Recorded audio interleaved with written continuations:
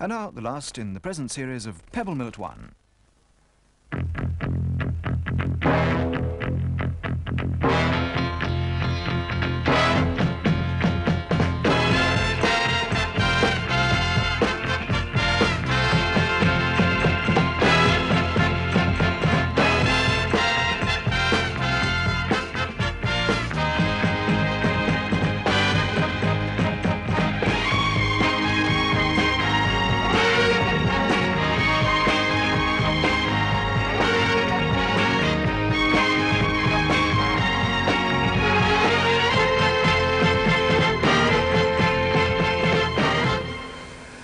folks, welcome to Pebble Mill and a happy Derby Day to one and all. We were going to st start today's show with Lord Longford and his yodeling whippets, but instead over to Bob Langley. Come on, come on, come on. You were late again today, weren't you? too bad, that's- I'm This man is always late, I'm always trying to late. fill in for you. Well, now it's my turn. Hello again.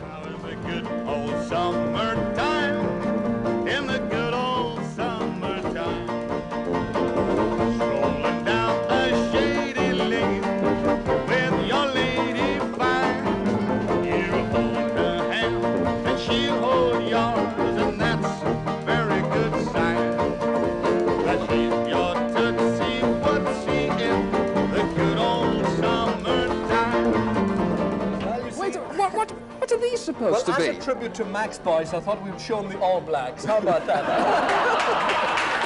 Marion, why can't I be on a nice, comfortable program like Panorama or Holiday 75? That's great formula of yours to Yes. work. What a day for the Easter holiday, Easter parade. The, can you remember when some bright spark in the office suggested the thing in the first place? Yes, something colourful he said, but simple. I don't know where he got the idea of a simple Easter bonnet parade.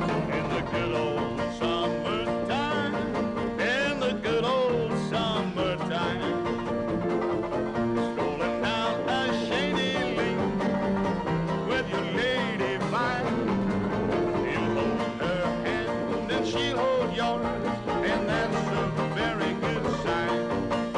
That she's your tootsie whatsie in the good old summertime down at the Franklin in the good old summertime.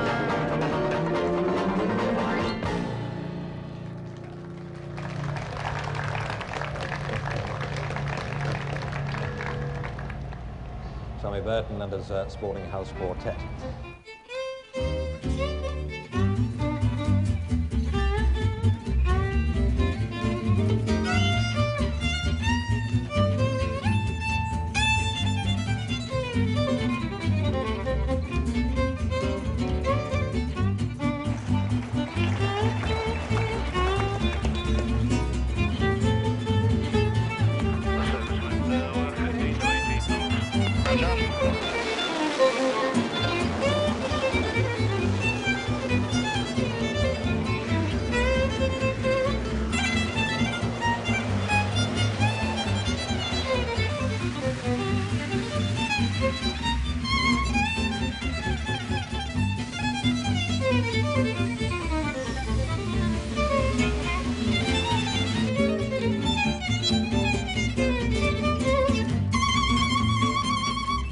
It sounds like bad news for burglars, Simon. Open the door. Let's see what happens. Right. I'm sorry. We didn't turn it on. Oh. When it comes to clay pigeon shooting, all it really needs is an eagle eye, a steady hand, and nerves of steel. Pull!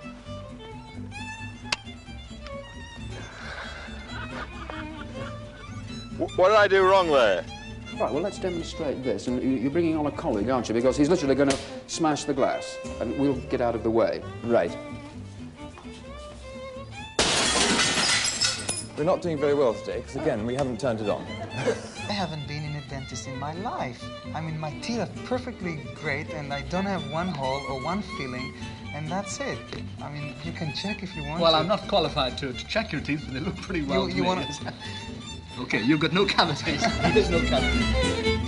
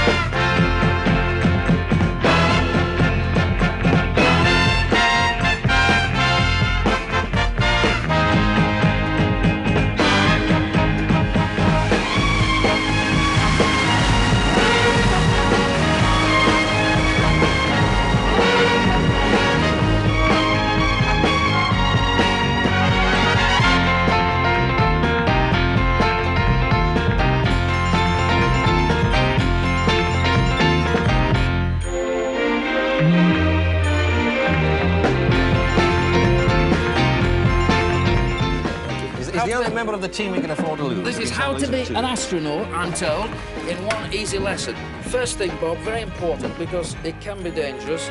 You've got to strap yourself in. Did he like you? Stop it! Stop it! Stop it! Right foot!